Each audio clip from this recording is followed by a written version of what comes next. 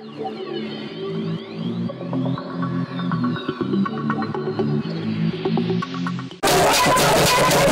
God.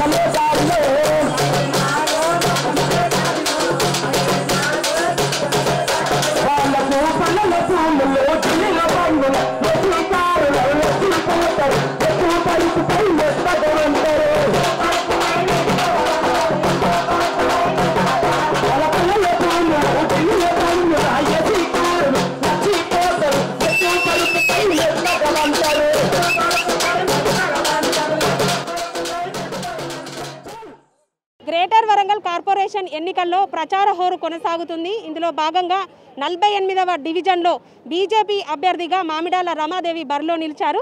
ప్రస్తుతము ఈ నలభై ఎనిమిదవ డివిజన్లో ప్రచారం కొనసాగిస్తున్నారు. వారికి ప్రజల నుంచి ఎట్లాంటి రెస్పాన్స్ వస్తుందో వారి మాటల్లోనే మనము తెలుసుకుందాము. నమస్తే మేడం. ఓకే మీరు బీజేపీ పార్టీ నుంచి బరిలో నిలిచారు కదా ఈ డివిజన్లో డివిజన్లోని పలు ప్రాంతాల నుంచి కూడా మీరు ప్రచార కార్యక్రమంలో కొనసాగుతున్నారు. వాళ్ళ నుంచి ఎట్లాంటి రెస్పాన్స్ వస్తుంది మీకు? సమస్యలు చెప్తా ఉన్నారు ప్రజలు. ఆ సమస్యలను నేను నెరవేరుస్తానని నేను హామీ ఇస్తున్నాను ప్రజలకు. ప్రజలకు నా మీద అవగాహన చాలా ఉంది. నేను ఒక బీడీ కార్మికురాలనే కష్టజీవినే ప్రజలందరికీ నేను మేలు చేస్తానని చెప్తా ఉన్నాను. ఈ డ్రైనేజీ సమస్యలు ఈ శ్మశాన వాటికలు ఇంకా రోడ్ సమస్యలు అండర్ బ్రిడ్జి సమస్య ఈ ఫింక్షన్ల సమస్యలు ఇవన్నీ నేను వాళ్ళు చెప్పినవి నేను నెరవేరుస్తానని ప్రజలకు హామీ ఇస్తున్నాను. ప్రజలకు అవగాహన చాలా ఉంది నా మీద.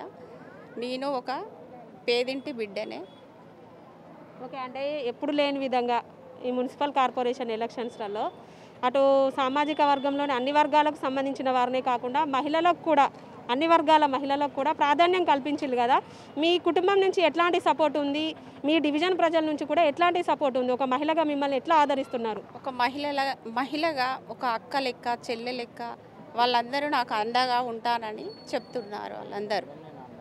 వాళ్ళకు కూడా నేను అండగా ఉంటానని చెప్తాను. వాళ్ళు ఈ ఫింక్షన్లు పోతాయి అది ఇది అని భయపడతా వాళ్ళు. అవి ఏమి పోవు. ఓకే అంటే ఇప్పుడు ప్రధానంగా బీజేపీకును టీఆర్ఎస్కే పోటీ ఉంది కదా రెండు పార్టీల మధ్య పోటీ ఉంది కదా మీ డివిజన్లో ఇప్పుడు టీఆర్ఎస్ పార్టీ నుంచి ఏమైనా పోటీ ఉంటుందని అనుకుంటారా మీరు? మేము మెజార్టీ అధిక మెజార్టీ తోటి గెలుస్తామని మాకు నమ్మకం ఉన్నది ప్రజలు కూడా మాకు అండగా ఉన్నారు. టీఆర్ టీఆర్ఎస్ పార్టీ వాళ్ళు ఇంట్లో ఇంట్ల నుండి బయటికి రావడానికి చాలా భయపడుతున్నారు. ఒక బీడీ కార్మికురాలు అంటే ఇంట్లో నుంచి బయటికి వెళ్ళారు మామూలుగా. మీరు అంటే ప్రజల మధ్య మెదిలే వ్యక్తిగా మీరున్నారు. అంటే ఇప్పుడు రిజర్వేషన్లో మార్పులో భాగంగా ఒక మహిళకు ప్రాధాన్యత ఇచ్చారు. మీ భార్యకి ఏ విధంగా మీరు సపోర్ట్ చేస్తున్నారు? ఇక్కడ నుంచి ఎట్లాంటి రెస్పాన్స్ వస్తుంది డివిజన్ నుంచి ప్రజల నుంచి? డివిజన్ సమస్యల నుంచి డివిజన్ ఆల్రెడీ నేను ఆల్రెడీ విన్ను. మెజారిటీ కోసంకే చూస్తున్నా ఇక్కడికి. దర్గా బేజాలు మొత్తం మాకు అన్ని కుల మతాల భేదాలు లేకుండా ముస్లిం అయినా కానీ మైనారిటీసే కానీ ఏ ఆ కుల భేద మత భేదాలు లేకుండా ఈసారి జనం నాకు ఆదరించి నన్ను విన్ ఆల్రెడీ మెజార్టీ ఇచ్చేసాను పబ్లిక్ ఆల్రెడీ. నేను ఎంత మెజార్టీ రావాలి? నేను అలా విన్ అయిపోయినా మెజార్టీ ఎంత రావాలని వెయిటింగ్ ఇస్తున్నా గ్రామ ప్రజలకు అన్నిటికీ ఏ విధంగా సహకరిస్తా. ఎందుకంటే ఈ సమస్య రోడ్ సమస్యలు బాగున్నాయి మా ఏరియాలో. ఇది అండర్ డ్రైనేజ్ మెయిన్ రోడ్కి అండర్ డ్రైనేజ్ వాటర్ అట్లే ఉన్నాయి దొమ్మలతో దోమలతో చనిపోతున్నారు. కుక్కల పెడదా ఉంది మాకు. శ్మశాన వాటిక బాగాలేవు. మా రైల్వే గేట్ ఉన్నది. ఆ గేట్ మీద మా బుడగుట్ట నుంచి దానికి రోడ్ రోడ్ ప్రాబ్లం చాలా ఉంది మాకు. అండర్ అండర్ బ్రిడ్జ్ అయ్యే శాఖ చేపిద్దానని మేము అందరికీ వాగ్దానం చేస్తున్నా. ఎందుకంటే ఇంధన కేంద్రంలో గవర్నమెంట్ ఉన్నది వాటికి మా సెంట్రల్ గవర్నమెంట్ వాళ్ళతో ఎట్లా రిఫరెన్స్ పెట్టాలనో ఆ విధంగా నేను చేయాలనుకుని అందరు గ్రామ ప్రజలకు చెప్పాలనుకున్నాను నేను. ఆ విధంగా ఇంకోటి సమస్యలు ఈ విధంగా అంటే నీకు ఒక్కొక్కటి ఏమంటే ఇప్పుడు వరకు అన్ఎంప్లాయ్మెంట్ ఉన్నది మా దగ్గర. అన్ఎంప్లాయ్మెంట్ ఇప్పుడు అది కేసీఆర్ ఏం చేసిండు? యాభై ఎనిమిది సంవత్సరాలు ఉన్న రిటైర్మెంట్ అయిన వాళ్ళకి వాళ్ళ పెన్షన్ పై వాళ్ళ రిటైర్మెంట్ పైసలు ఇవ్వలేక అరవై అరవై మూడు సంవత్సరాలు మూడు సంవత్సరాలు పెంచితే అరవై సంవత్సరాలు ఈ నిరోధక సమస్య ఏమవుతుంది ఇక్కడ? అది వాళ్ళ ఏజ్ బార్ అవుతుంది అనవసరంగా. అనవసర బార్ వాళ్ళకి ఎంప్లాయ్మెంట్ వెయిటింగ్ చేసుకున్న వాళ్ళు ఉన్నారు. వాళ్ళ సమస్య అట్లేదు మన వరంగల్ ఏమున్నది? వరంగల్ గెటర్ అమృత్ సీట్ వచ్చింది. స్మార్ట్ సిటీ వచ్చింది. ఉదయ స్కీమ్ వచ్చి- ఉదయ స్కీమ్ వచ్చింది. దర్గా దర్గా గుడి నుంచి దర్గా గుడి దర్గా గుడికి కో- కోటి ఎనభై ఆరు లక్షల రూపాయలు. దర్గా దర్గా గుడికి ఉదయ స్కీమ్ మీద. భద్రకాల బండి మాది. ఇది కాజ్పేట నుంచి వెళ్ళి వరంగల్ సిటీ మొత్తం ఆ రోడ్ సమ రోడ్డు డెకరేషన్ అవన్నీ అవే. అది ఎప్పుడు అది నూట తొంభై ఆరు కోట్లు స్పాన్సర్ చేసిండు అని. అవుటర్ రింగ్ రోడ్ అట్లే ఉంది. ఇంకా ఇంకా వరకు ఇంకా వాళ్ళే ఇది అది అసలు నుంచి అరవై వేల వరకు ఇంకా అట్లే ఉంది మాకు. ఆ- సమస్యలు అట్లే ఉన్నాయి. అదే కార్పొరేషన్లలో ఏ సమస్య ఎంత ఫండ్స్ ఇచ్చినా కానీ సంవత్సరానికి మూడు వందల కోట్లు ఇస్తాను కేసీఆర్. ఆ డబ్బులు పెట్టి కేసీఆర్ ఇప్పటివరకు అది డబ్బులు పెట్టి కుర్చీ చేసుకుని కడతాను మున్సిపల్ కార్పొరేషన్కి వచ్చి. ఆ ఇప్పటివరకు ప్రజా సమస్యలు ఇంతవరకు తీర్చలేదు. ఇప్పుడు ఇక వచ్చి ఏ విధంగా వచ్చి ఒక ఓటు అడుగుతాను అనుకుంటారు మా సమస్యలు ఉన్నది ఏం చేయలేదు. కార్పొరేట్ ఉన్నారు ఒక సింగిల్ తిరుగుతారు ప్రజలకు. కార్యకర్తలను కాపాడుకోలేరు. కార్యకర్తలు ఆ కార్యకర్తలు సపోర్ట్ చేస్తున్నారు అందరు. ప్రతి ఒక్క కార్యకర్తను అవసరం పెడతాను దండలు వే వినుకో అంటాను.